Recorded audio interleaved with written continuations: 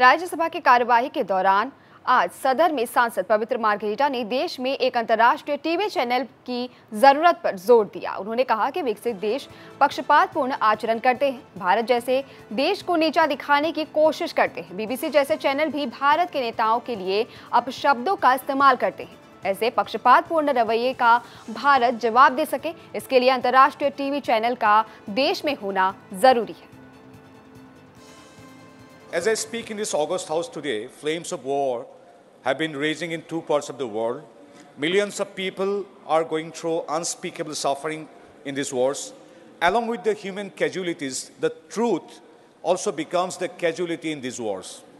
I've been observing in fascination sign uh, that the various global media organizations have been presenting versions, versions of truth that suit them the most.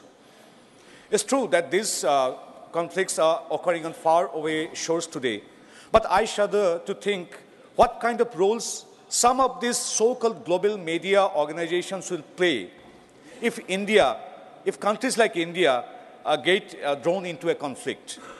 Even an organization like BBC's agenda gets exposed when they unreasonably target a democratically elected world leader on fictitious allegations.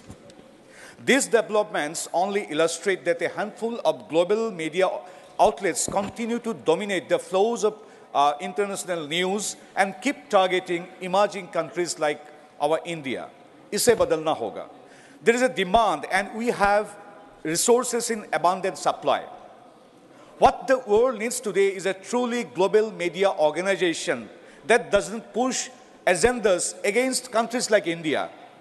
India has an unparalleled pool of talent engaged in uh, more than 1 lakh uh, registered newspapers, 400 news channels, and uh, uncountable other media entities.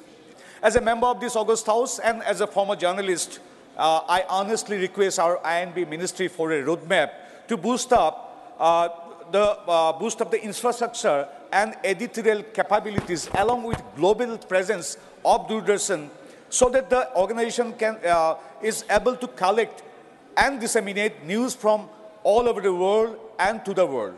Vasudhaiva Kutumbakam is our mantra.